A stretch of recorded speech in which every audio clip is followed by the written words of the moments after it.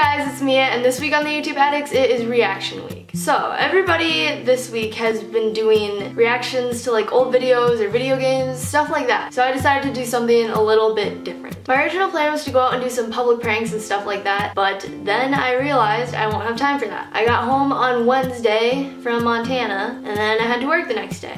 And here I am today, sitting where I am, thinking, what the heck am I supposed to do for reaction week? Then the thought came to me, why not prank somebody at the 4th of July party? And then another thought came to me. What am I supposed to do for pranking somebody at a 4th of July party? I thought of many different options, such as like dumping ice on somebody, pushing people in pools, but nothing felt right.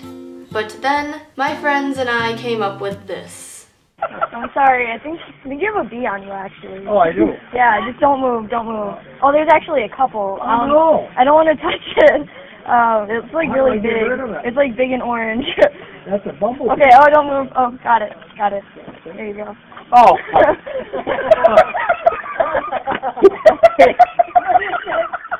That's a safety. Yeah. What is the safety? So for this prank, I took post-it notes and I drew a letter B on them. I stuck them on people's back and I told them that they have a B on them. Not really the reactions I was looking for, but they are reactions, thus they are suitable for reaction week. So anyways, back to the pranks. Just don't move. Don't move. Uh, it's really big actually. I don't know. Oh, here it is. Here. Got it. What's that? Oh, the bee. It's a bee. So you're finding it over the house. Oh, oh wait, you have a bee on your back actually. Just don't move.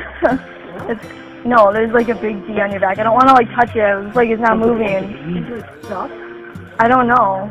It's just it's not moving. Just don't move. Don't move. I don't want it to like sting you. That's right. Oh, okay. Here, I, okay. I've been stung before. And his wife, What is the bee? It's a bee. your mother. Sorry, I have to do the trends video. Thank you guys for watching this video. Will you give it a thumbs up? That would be great. And if you aren't already, please subscribe to the channel down below. We reached 300 subscribers this past week and we would like to thank you for that because you guys are awesome. I think that's it. See you guys next week.